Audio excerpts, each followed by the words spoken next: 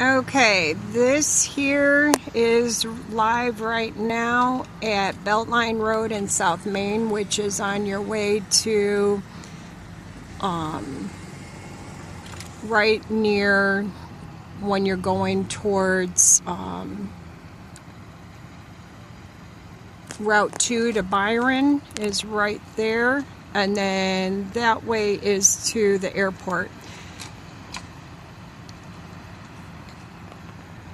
That car was mangled pretty good. They're still working on someone in the back seat of this car.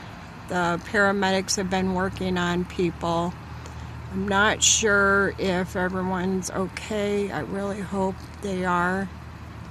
Um, but they have been working on the people.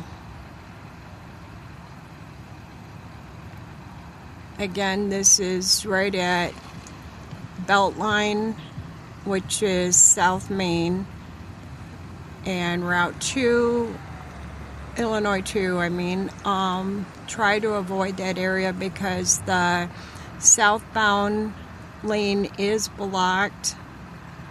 Some people are still trying to drive around it, but it's not safe.